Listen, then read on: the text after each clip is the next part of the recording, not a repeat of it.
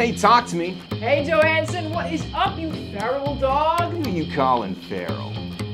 No, not him. I'll tell you what's feral, though. This traffic makes me yearn for simpler times, for the days of my youth when I was just a cub, filling my rotund pot belly with garbage. Are you still picking up Mrs. Hernandez's Chevy Cruze? Yes, I'm on my way there right now. If she's counting on us, Johansson, she is counting on CarVendee to come through for her.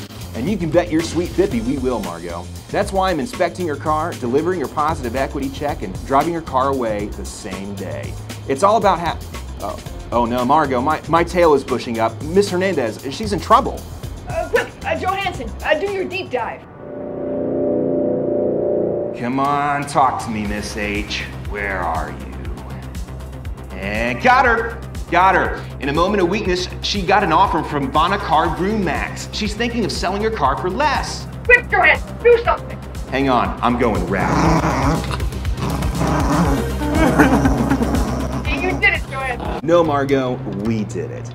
Call Miss Hernandez and tell her traffic is clearing up, and I'll be there before she can say CarVendee. Does not condone or tacitly support violence of any kind. The contents of the preceding advertisement were for illustrative purposes only.